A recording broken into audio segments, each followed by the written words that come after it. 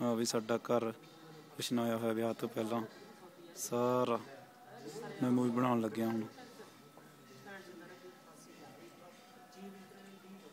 ਆ ਦੇਖ ਲਓ ਜੀ। ਦਿੱਗਿਆ ਜਾਂ ਹੁਣ ਦੂਜੇ ਪਾਸੇ ਨੂੰ ਚੱਲੇ ਮੈਂ।